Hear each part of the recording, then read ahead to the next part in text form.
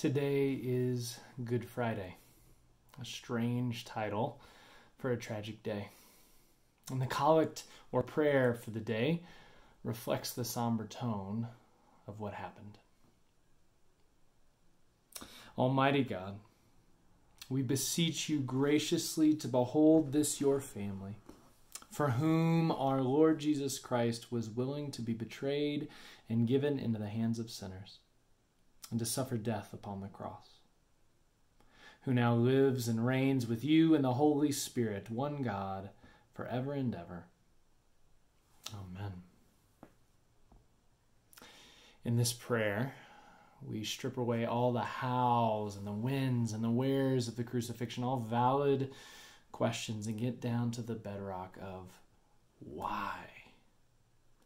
Why does Jesus do this. There are all kinds of reasons tucked into this prayer.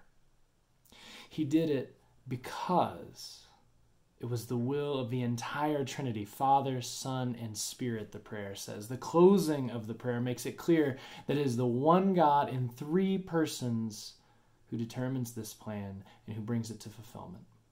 The cross was not divine child abuse or a kind son placating an angry father. This was all their purpose, all their plan, all along.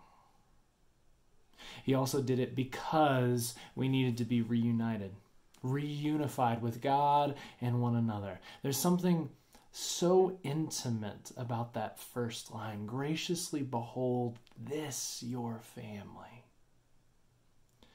There is an intimacy between us and God, a depth of relationship between us and one another that was broken by sin, where we truly did not behold one another and could not say that we treated one another as family. And the cross restores those relationships, both vertical and horizontal. As Jesus was broken, everything that is wrong was healed.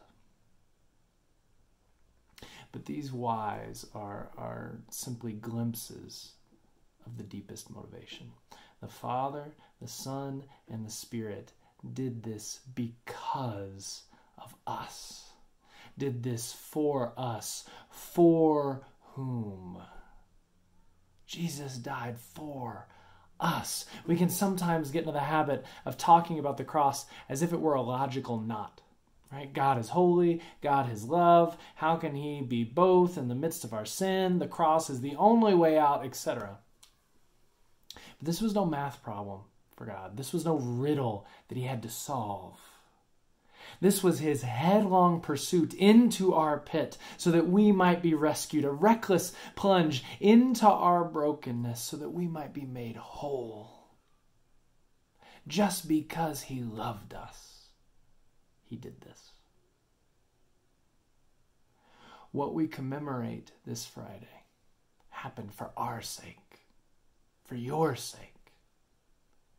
And that is the reason we call it good.